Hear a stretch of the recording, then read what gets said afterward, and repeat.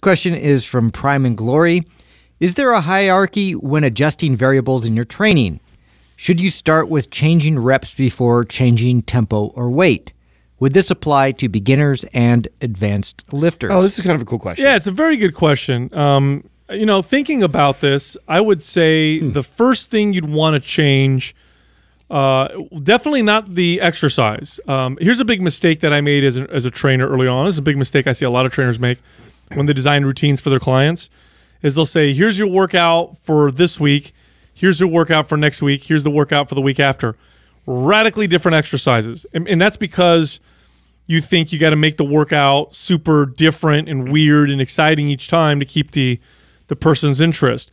The problem with that is that they don't they, the client never builds the skill around the exercises to really reap the benefits. Like for example, when the first time you learn how to do a barbell squat, a lot of that initial learning process is just learning how to do it right. Once you kind of get Yeah. to the point where you feel comfortable the squat, then you can really start to reap the benefits. Well, that's why I think yeah, like a tempo would be like my first sort of uh, uh, you know variable. I'd change for a beginner. Like that would be something Like that- slow down. Yes, you start slow and then you start like gradually increasing the speed with that like first, and then we'll go to like reps. Re- reps would be the next one. Yeah. Um, reps, you know, if you're doing a workout, let's say you're following a workout for three weeks and you want to change things up to get your body to respond again, change rep ranges. Maybe you're training in the eight to 12 rep range.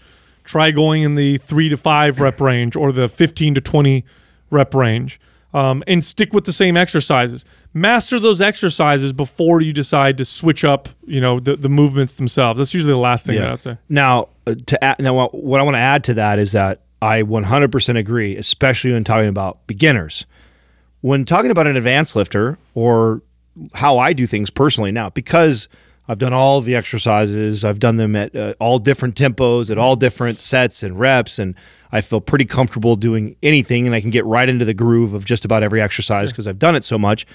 I actually like to kind of manipulate all at once because then I know I get the greatest ad- adaptation and I get the greatest change from that. You know, if you if you manipulate one variable, you you are sending a, a a different signal to the body, so you'll get some change from that, which is great. And that's per and for a beginner, that some change is, is going to be much mm-hmm. greater.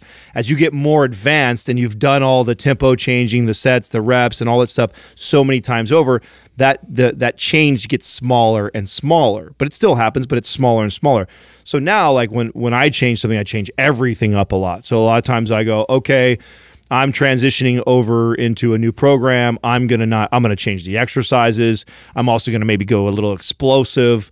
Uh, I'm I, I'm gonna change the weight. I'm obviously gonna go lighter because I'm going on much. Ex- I'm doing explosive way training, and I'm gonna train that way for a while. And then I go, okay, what is the most drastic from explosive and lightweight and these movements? Okay, maybe something that's more fo- foundational, grinding and slow and heavy.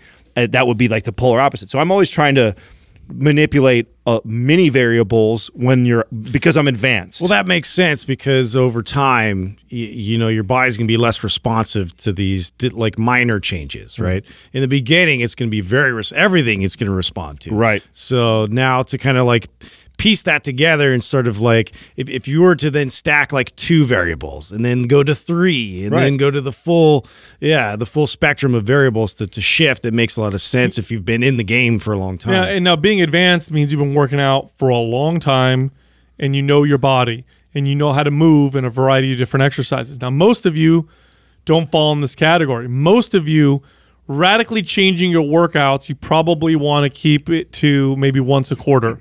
So I'd say every three months or so, then you can radically change the exercise. So if you're following our programs, if let's say you're following the MAPS programs, well, that's roughly four MAPS programs or five MAPS programs a year, where you start off with one program, follow it all the way through. Our, you know, the programs tend to change the rep ranges. We'll change some of the exercises in there, maybe sometimes the tempo. But then after three months, it's a radically new exercise. It's a new pro, excuse me, a radically new exercises or new program. Um, that would be how I would design it for most people year round. But I think that the takeaway is that these are very, you don't want to get stuck in a variable, you know, uh, sequence for too long. Getting stuck in any program where it's the same reps, same sets, same exercises, same amount of weight if you get stuck, your body won't budge. It's just gonna, at the very least, you'll maintain. Uh, excuse me, at the very most, you'll maintain. Um, at the least, you may actually even go back a little bit. Sometimes switching up variables is what keeps you from regressing, especially as you get older and you reach your kind of genetic limit. Sometimes you got to switch it up so you don't start sliding backwards. And the opposite is true also. You don't want to be switching it up so much that you don't give your body a chance to adapt and get good at whatever the movements are. So there's that sweet spot. And obviously if you fall and I know uh, I know Prime and Glory has I think most of our programs. I He think it's- does. Mm-hmm. And so, you know, for you, if you've gone through all the maps programs, you know, you're you're now starting to move closer to the advanced and you have more room to play with some of these things. But for most people, I would recommend that they go through all the because we do all this for you. That's the idea of the programs is we phase them for you. We manipulate reps, we manipulate tempo, we change the complete adaptation so you're focusing on something totally different every quarter, like Sal is saying.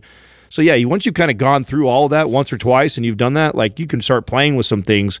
Otherwise, we've kind of figured all that hierarchy out for you and we've implemented into the programs.